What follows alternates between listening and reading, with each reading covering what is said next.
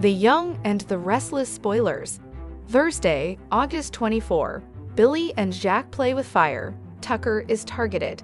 Nate goes too far. The Young and the Restless spoilers for Thursday, August 24, reveal that Victor Newman will unveil a new strategy that's sure to shake things up. That could have something to do with the insurance policy that Victor's setting in motion involving Nate Hastings.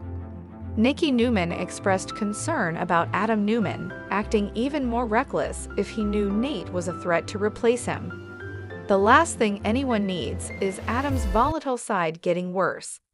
Nevertheless, Victor is convinced that he knows best when it comes to keeping Adam in line and handling all the SNA media drama.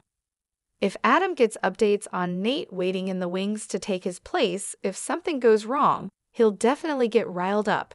It could leave Adam even more convinced that a bold move must be made to break free from Victor's control. As for Nate, he's been making progress when it comes to repairing his relationship with Victoria Newman. Nate feels like Victoria has hopefully forgiven him and that she's ready to move forward with their romance again. Unfortunately, Nate will go too far somehow on Thursday's Y and R episode.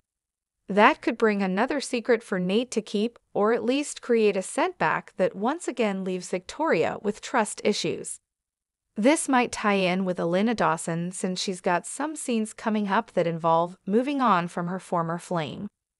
Elena tends to hurl insults at Nate whenever they cross paths, so she might push too hard this time and launch his massive outburst.